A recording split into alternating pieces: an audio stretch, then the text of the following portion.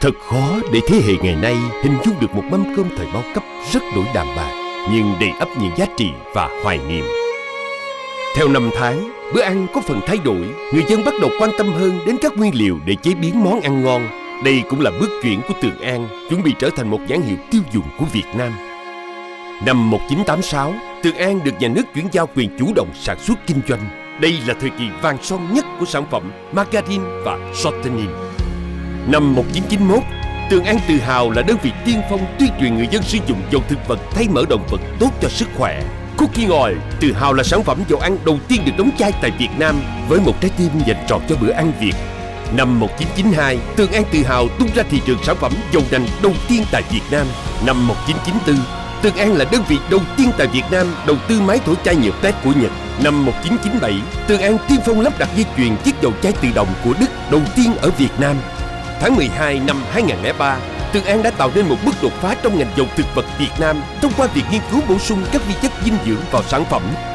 Hơn 40 năm có mặt trên thị trường, Tường An đã khẳng định được giá trị thương hiệu với 200 nhà phân phối trên 100 khách hàng khối công nghiệp, 450.000 điểm bán trên toàn quốc với một sứ mệnh chinh phục lòng tin của người tiêu dùng Việt. Tháng 4 năm 2013, Tường An được cấp giấy chứng nhận đạt tiêu chuẩn hệ thống quản lý chất lượng theo tiêu chuẩn ISO 9001-2008 và GMP HACCP tại nhà máy dầu Phú Mỹ. Đây là lời cam kết của Tường An về việc đáp ứng nhu cầu của khách hàng, mang lại sự thỏa mãn cho người tiêu dùng về vệ sinh an toàn thực phẩm. Và ngoài hoạt động kinh doanh hiệu quả, thương hiệu Tường An luôn gắn liền với những hoạt động xã hội. Với sự tin tưởng của người tiêu dùng, Tường An đã trở thành thương hiệu uy tín hàng đầu Việt Nam và nhận được nhiều danh hiệu cao quý Hành trình chinh phục người tiêu dùng Việt qua bao thập kỷ đã làm nên một thương hiệu Tường An vì dân, do dân, quốc dân. Năm 2016 đã tạo cho Tường An một bước phát triển vượt bậc khi Tường An sắp nhập vào tập đoàn Kido. Mỗi sự thay đổi, mỗi bước chuyển mình của Tường An đều gắn liền với những giai đoạn phát triển kinh tế xã hội của đất nước.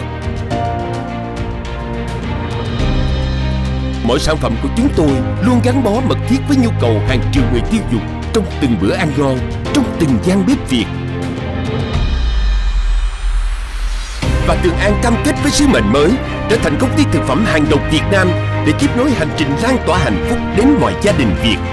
40 năm hiện diện trong từng gian bếp Việt, 40 năm tự hào cùng bao thế hệ Việt, 40 năm giòn ngon bữa ăn Việt.